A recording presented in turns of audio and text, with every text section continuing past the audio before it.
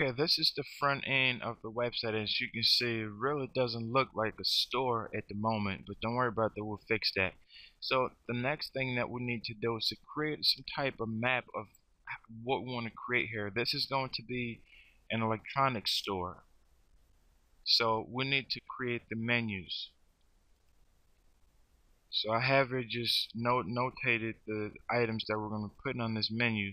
So to do that, you go to menus, menu manager, add new menu.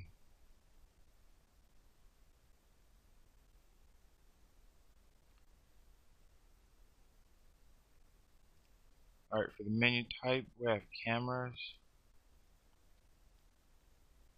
And where it says menu type, click select. And you have this option here. Go to system links and you just want to put in external URL. Uh, and the reason we're doing it at this point is because we don't have anything that we're working with yet, so we can't link this to anything. And once you've done that, you just want to put the number sign. And then click on Save and New. And what's, what's going to happen is that it's going to save that and then open up a new menu. So then we want to create, just add the rest of these here. So the next one is uh, component and then laptops, desktops, and so on and so forth. So just take a minute just to add these and whenever you create a new menu just click save and new and it's going to show you know open up a new uh, page for you to add the new menu so let me do that and I'll come back when it's done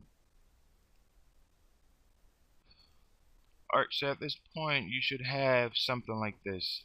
This is the menus that have been added. Now if you go on the home page if you notice it's still just one menu there. But if you right if you click on the home page you should have these additional ones. So you have cameras components laptop, desktop, tablets iPad TV headphones. So these are the menus or the categories that we're going to be creating products for